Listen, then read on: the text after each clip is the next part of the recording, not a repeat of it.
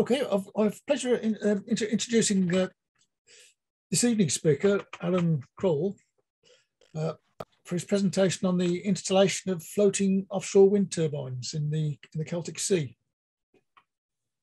He's a fellow of uh, IMAREST and, and and he continues research in the subject at the University of Exeter uh, after 51 years experience in the design, construction and offshore installation of marine structures.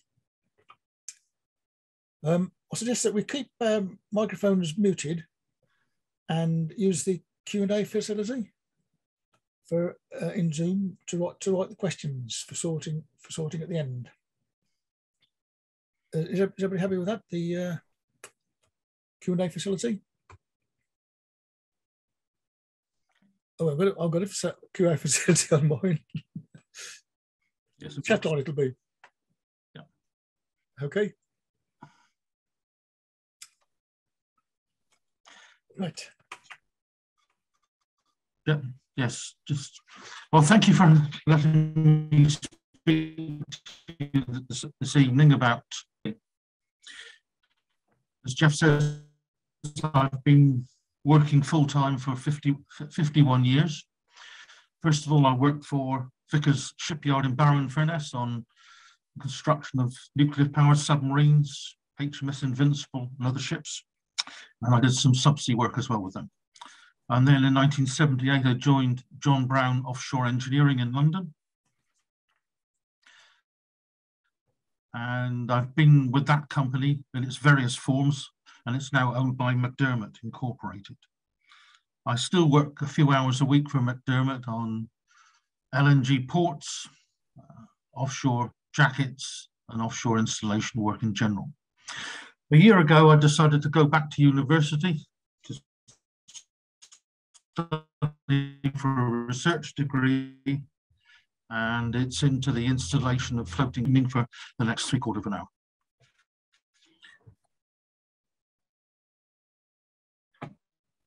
Floating wind turbines.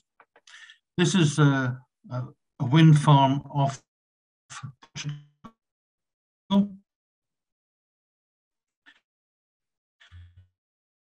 three semi-submersible floating wind turbines, uh, a cable lay vessel alongside uh, floating wind turbines, and you'll see different acronyms used, FLOW, FWT, FOW. But if I use any at all tonight, it'll be FOWT, FOWT, floating offshore wind turbines. I want to talk about the Celtic Sea, installation sequence, installation vessels, mooring types, turbine sizes, costs, and some conclusions. And then I look forward to any questions that you might have at the end. Um, Alan, Alan, uh, Alan, the, the, yes. The voice is breaking up a bit on the on the screen. I don't know if, don't know if it could be changed.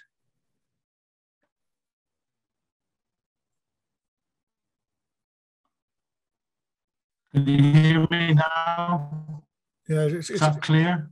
It's breaking up quite a lot, actually. Is it?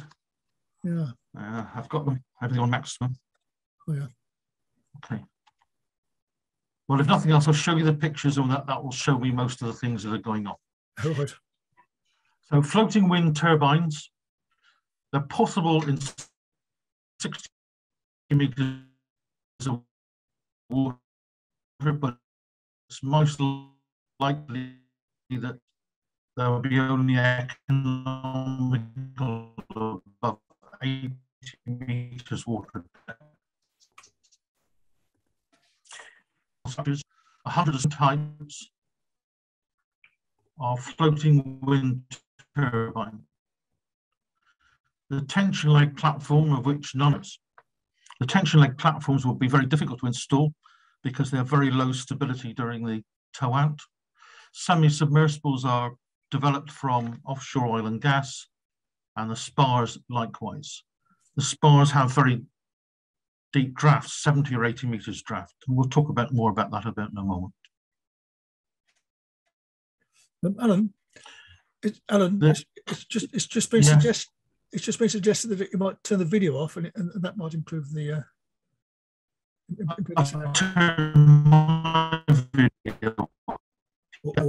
then effectively. Okay. Or, or turn mine off too.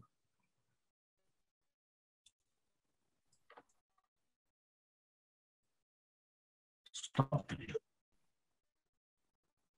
That's it. Is that better? Yeah, that's, that's probably better. Yeah. Yeah, that's a bit better. Okay. In the in of of Scotland, there are five steel spars. They have a draft of 70 meters. It's unlikely that they would be used in the Celtic Sea simply because you need 80 or 90 meters of sheltered water in which to construct them. The one, these were all uh, finished off in Norway in the fields. And there's nowhere in the south southwest, in the Celtic Sea, where we could actually build these things. So, but they will be feature further in the northern North Sea in the future. Despite all the conferences and papers and talks there are about floating wind and promises by politicians of different colours and different hues, there are actually only 16 working floating wind turbines around the world. There are three semi-submersibles you saw in the picture at the beginning in Portugal, five semi-submersibles off Scotland, five spars off Scotland, a concrete barge off France, a steel barge off Japan, and a steel semi-submersible off China.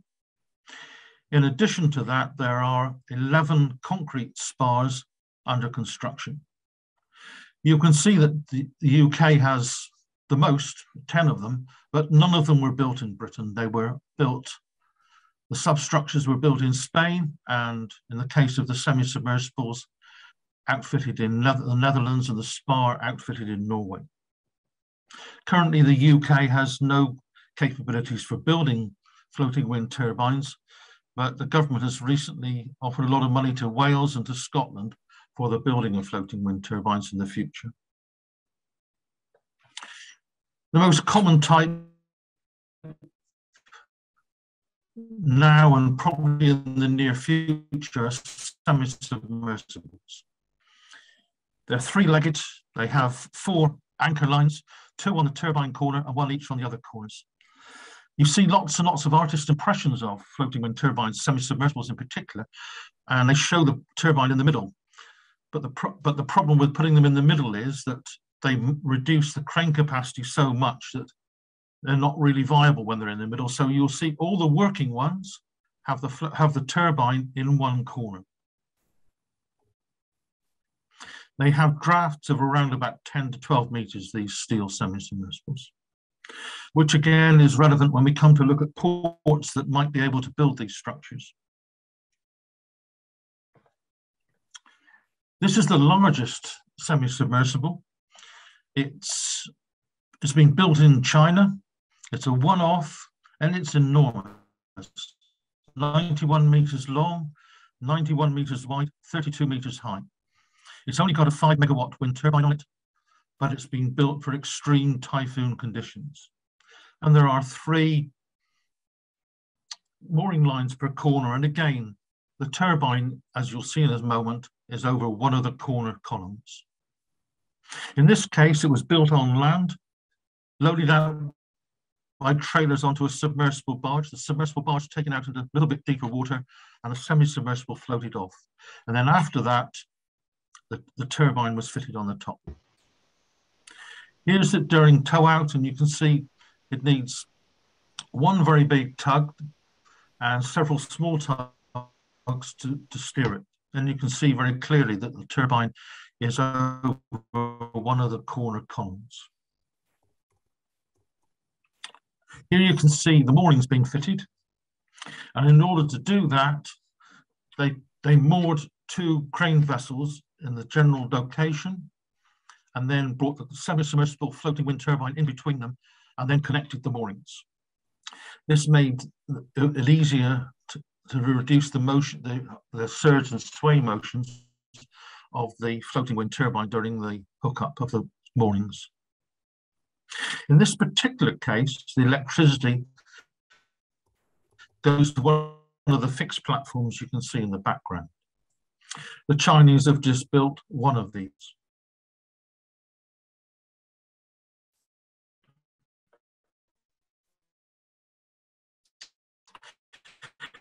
And here you can see the K dynamic array. There's been discussion about WaveHub. WaveHub as a, as a connection point off Hayle in Cornwall. And there's the possibility that one of these semi-submerged you can see that it's a massive structure. It's 390 meters long, 120 meters in height, kind of Mornington, with a turret, a swivel turret, similar to what we see on CALM buoys FPS operating in the slave hub to produce electricity, to produce to go into the uh, terminal there and to bring it to shore the Celtic Sea. There are some interesting things about the Celtic Sea. And this is, first of all, we'll think about where is the Celtic Sea. It includes that area in grey, and it includes the Irish Republic, United Kingdom, and a little bit of France in its the Celtic Sea at the north northeasterly end is governed by the line between Rosslare in Ireland and Fishguard in Wales. The Crown Estate own in UK waters own the seabed, floating on ones. Three off the southeast, off the coast of Pembrokeshire, one off the coast of Wales, and you can see the lines. I, I don't know why the Crown Estate line between uh, the UK and Ireland is so jagged, and the line between France and uh, the UK is straight line, but uh, that's the line lines that they show in their publications. Most likely ones in the near future floating wind turbine farms are going to be. In addition to that, Ireland is thinking about the emerald field off the coast of Cobh, south off the southeast coast of, uh, of Ireland, off the Kinsale Head, close to where there's some existing oil platforms. Some of the complexity of, of trying to develop a floating offshore wind turbines includes all the power, the uh, telephone wire cables that, are laid on the seabed. Uh, Bude in Cornwall, some off uh, south coast and Glamorgan, and then others around Bristol. We'll there are also a couple of power turbines. We've got to make sure the anchors are clear of any of these existing power, uh, uh, telephone cables. And in addition, laying the export cable to the shore, making good crossing points. The water depths, as we've already said, it's expected that floating wind turbines will become see most of the Celtic Sea is around about 50 to 100 meters.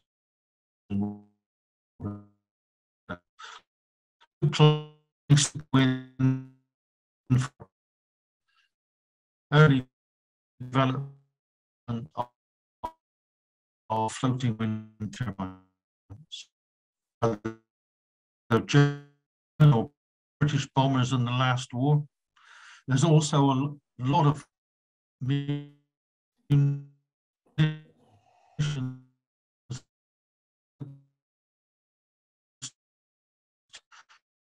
taken from on land areas where there are UXOs. And UXOs where we intend putting a wind farm or the export cable, then they will have to be removed. It's not such a good uh, picture, this one, but it's showing the kind of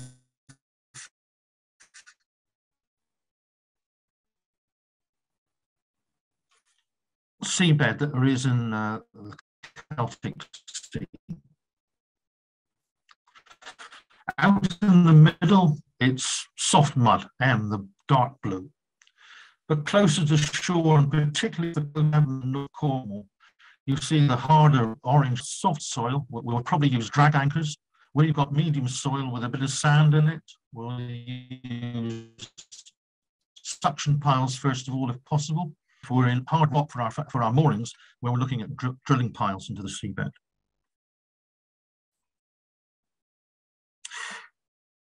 This shows the various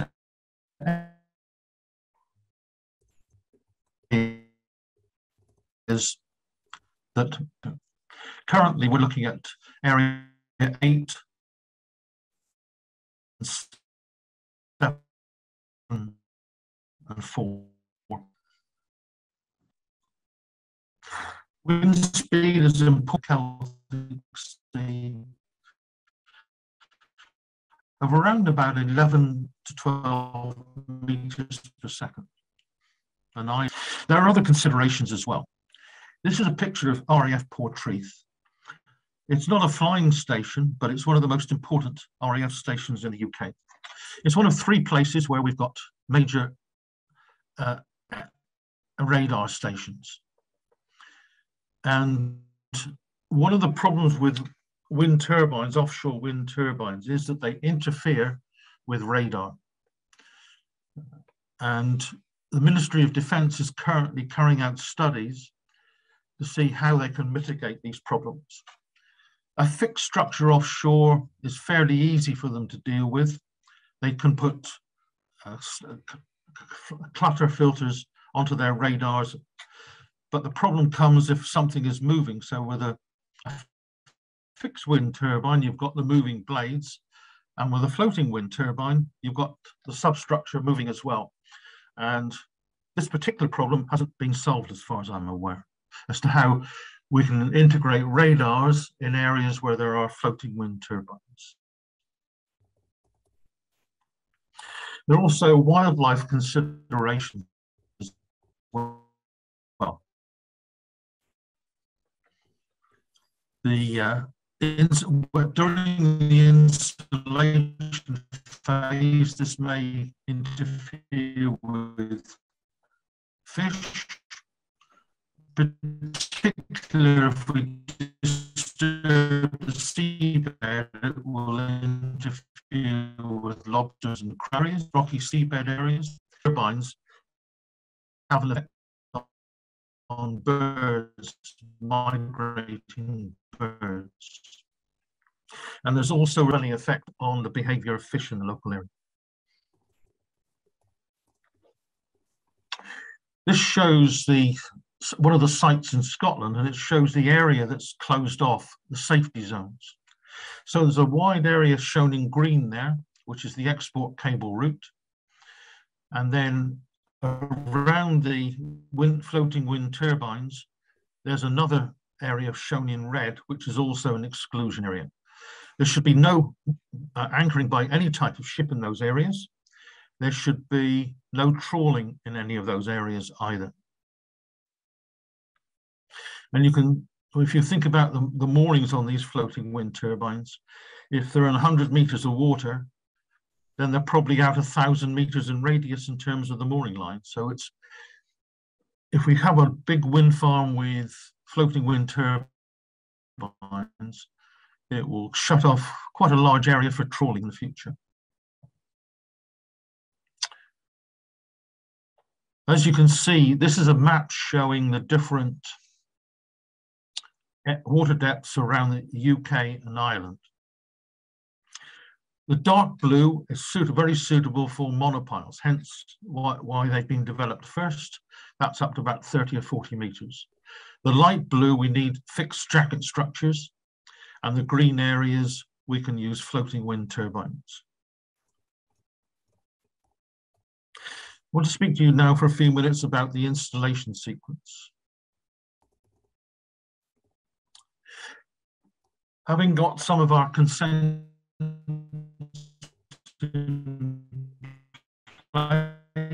and started to look at the wildlife in the area where we want to put the wind buoy, a met ocean buoy to measure waves, wind and currents. We'll also measure variation in tidal height and we'll come back to that in a moment. The next thing to do, having put the Met Ocean buoy in and kept it there for probably a year, is we the side scans of the cable route and the area where we're going to deploy a technical survey to look at the to boreholes and CPT tests. And so the design on the left-hand side goes into the export cable, and following the design of the export cable, we need to do a grapnel run, obviously not picking up any tele telecommunications cables, but trying to make sure that there's no debris, no wrecks in the area where we want to lay the export cable. And then the export cable is laid, buried and protected. In parallel with that, we design the moorings, which let's assume for a moment they're at drag anchors and chain. We then go offshore and install those moorings. We then need to design the substructure and on the right-hand side, the, the top sides, which includes the tower, the nacelle and the blades. Following completion of the substructure and the top sides, they're all brought by ship to a fit-out port, hopefully within three days sailing time of the offshore location. And then that completed structure is towed offshore, connected to the moorings and connected to the dynamic array cables. In parallel with the export cable installation, we would also carry out the UXO clearance. The surveys. It's important that before we install any floating wind turbines, that we carry out a met ocean study at that particular site. We want to know the wind speeds and wave heights in particular, the currents, air and water temperatures, the salinity, air pressures, and the tides. So if we have a big tidal range, which we do on the up against the Pembrokeshire coast and in towards the Bristol Channel, then that will make some of these options, particularly the tension leg platform, very difficult to install. So where we've got big tidal variations, it will have to be something that's continually moored, such as a spar or a semi-submersible. And it's important to get at least a year's data on the weather so that we have a good picture of what these weather conditions are like. We need a geotechnical survey to look at to carry out boreholes, to do CPT testing of the seabed, in order to understand what the seabed is like down to 30 or 40 meters below the seabed level. Vital, this is vital data for the design of the moorings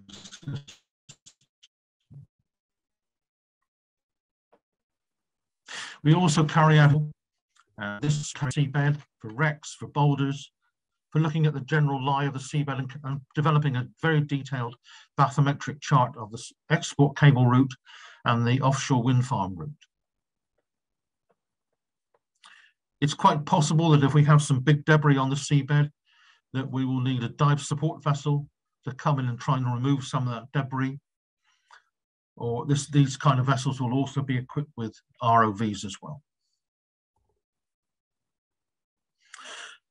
It's very important that the seabed where the export cable is, cl is clear of all the debris, old fishing nets, redundant wiring and ropes, removal of outer service cables and boulders and that sort of thing. And again, this can, this, some of this work can be done with work class ROVs.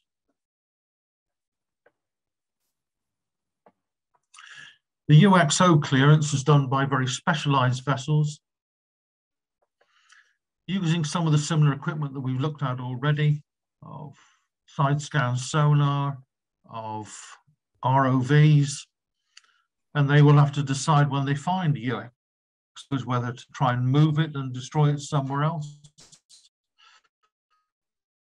or to destroy the location.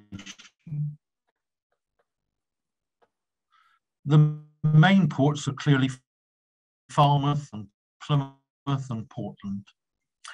On the Welsh coast, which we'll come to now, so Falmouth, rather, Falmouth has a water depth of about eight and a half meters. If we wanted to fit out semi-submersible crane, semi-submersible floating wind turbines, we'd probably need 10 to 12 meters. So we might need to dredge a little bit there where the red cargo ship is and strengthen the quay for large onshore cranes.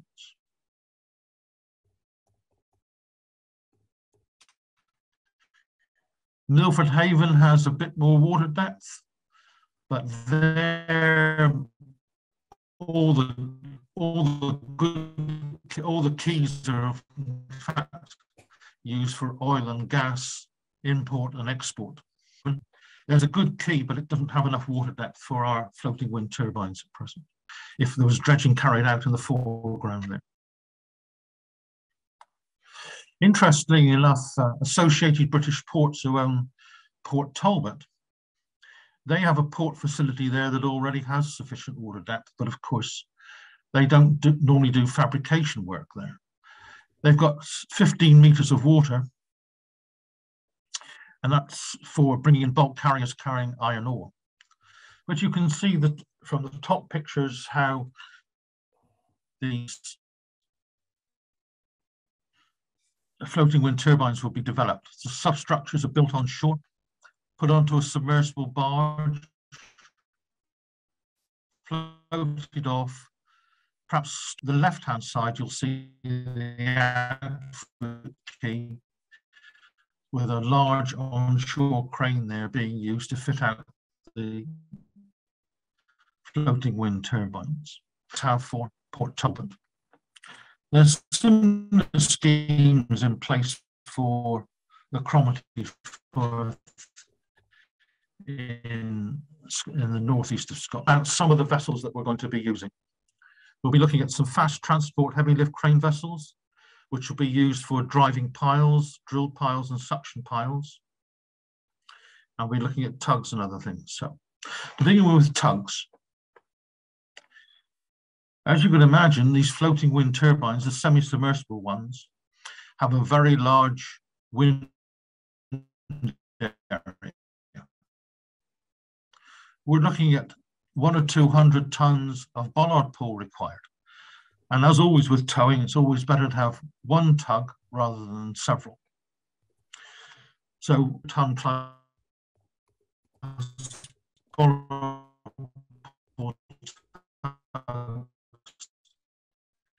the pull the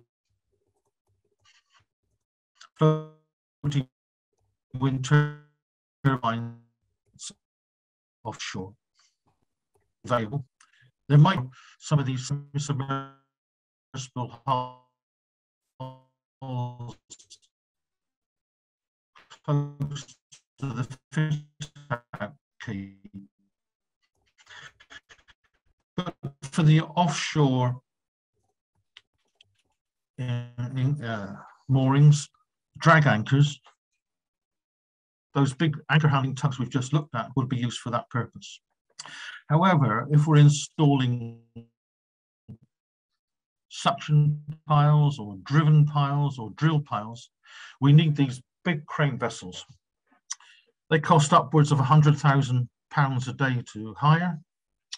Three of them, the Aga, the Lift, and the Constellation are already in existence. And the Stella, Alpha, and the Orion are currently under construction.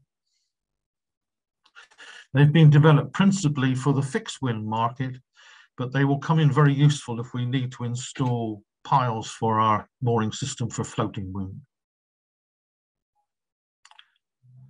As we've said, the, the gravity anchors will probably be used at the wet storage areas.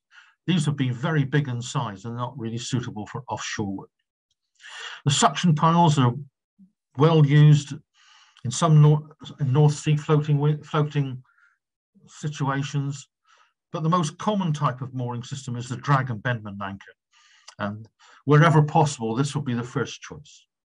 If we have to use drilled piles or grout, drilled piles or, or, or drilled piles, that they will be expensive to install. You can see here with suction piles, they're very simple, large tube, 10 to 15 meters in diameter, mooring chain pre-attached, uh, a valve at the top, the suction piles put it lowered down to the seabed. An ROV attaches a pump to the valve and sucks the, the, the, the water out and that sucks the, the suction pile down into the seabed. In certain soil conditions, they're very useful. If we're driving piles, we need, as we've already said, a specialized crane vessel with dynamic positioning, dynamic positioning part two or part three, because we don't want to start laying moorings for this particular vessel as well. And so it would deploy the underwater pile frame onto the seabed and then take the, pile, the underwater hammer down onto, onto, onto operate it through it. It would also require at least one ROV, probably two, to monitor the, under, the subsea work.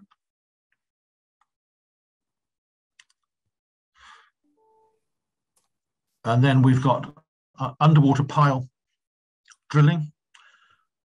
Again, the equipment has only been used a few times in deep water anyway.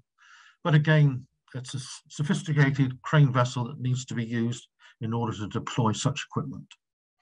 And I show you these items because of the hard rock situation there is, particularly off the coast of North, of North Devon and North Cornwall, where we'll need to be looking at possibly uh, drilling piles into the seabed. These show gravity piles, and you can just see here how big they are. This is an inshore crane, not an offshore crane, and it's useful for inshore moorings. You can see the drag anchors top left-hand picture, you see the drag anchor, you see the, buoy, the buoy that's going to be go attached to the uh, mooring line as well. Common feature, plenty of anchor handling tugs around in the North Sea area to be used and could be brought around to the Celtic Sea. This shows a semi-submersible crane for uh, semi-submersible floating wind turbine being pulled offshore. Again, a big tow towing it and some smaller tugs alongside it to steer it. As you can see, the turbine is over one corner, not in the middle.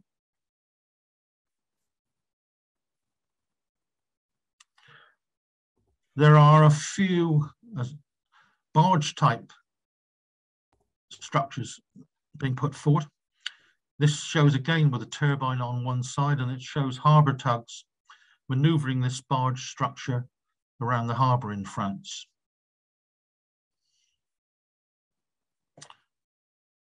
This shows the spar-type structure built horizontally in a field in Norway, floated off from a heavy transport vessel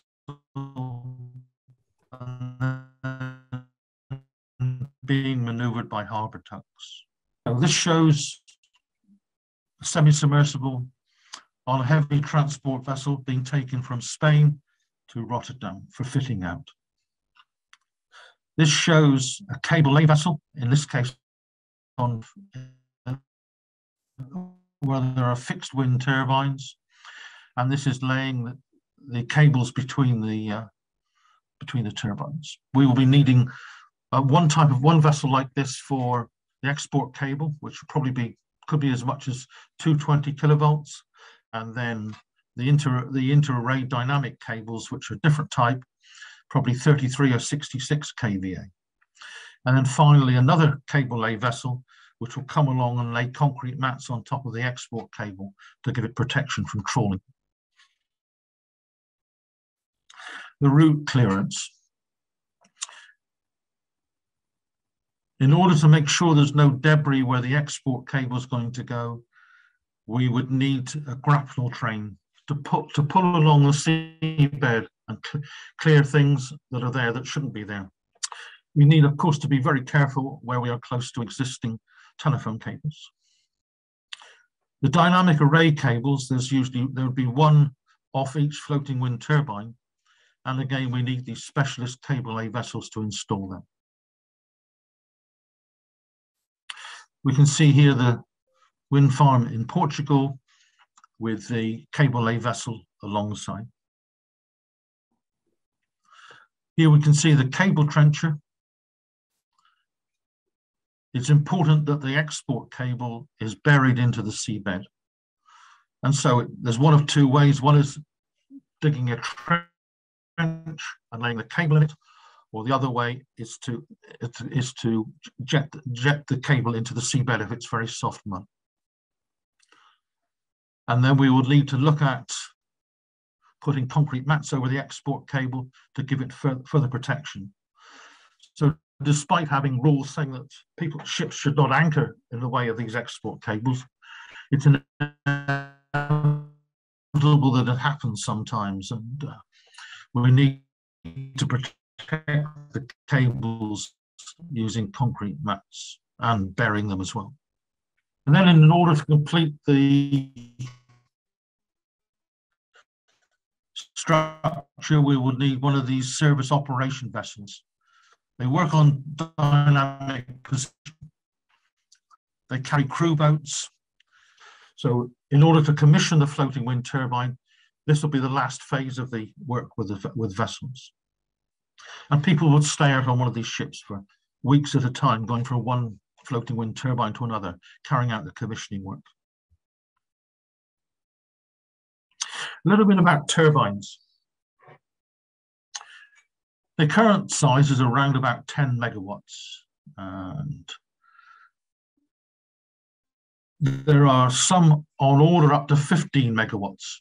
And, we, and these 15 megawatt structures have a tip height of 270 meters, a rotor diameter of 240 meters.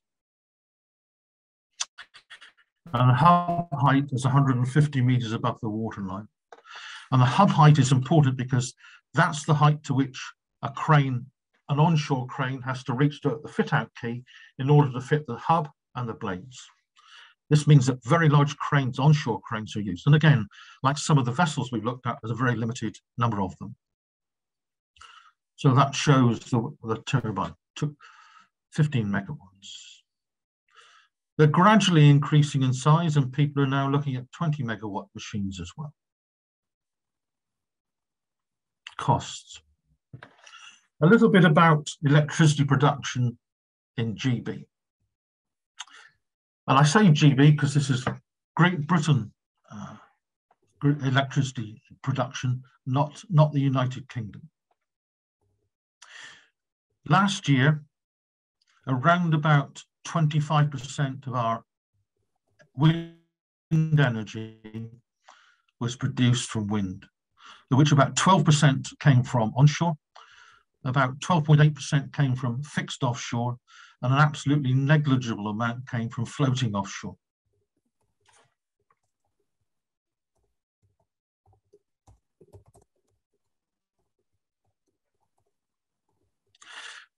there's a way of describing how you compare different types of energy production. The cheapest electricity from renewable energy is onshore wind. Then you can see the, the brown line between that's fixed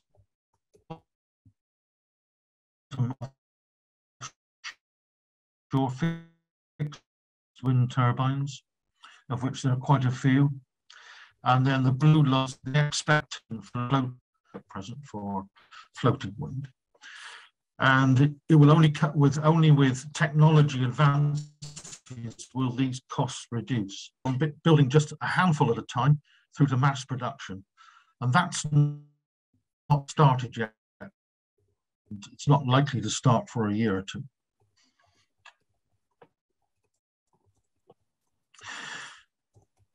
We're currently in what's called, we're ju we've just installed, as we've said in the North Sea, some demonstration and they're producing electricity for the national grid.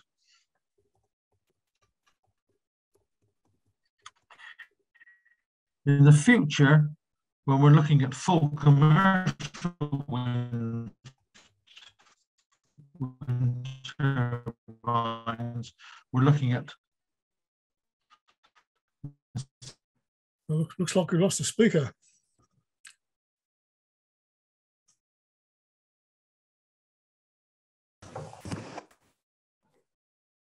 That's a shame. Uh, well, is the way I was hoping to ask. Um, I um, I wasn't able to see the slides at the beginning, so if anyone. Uh, I'm, I'm there now. Yes. Okay. I don't know what happened there. Did you just miss the last two slides?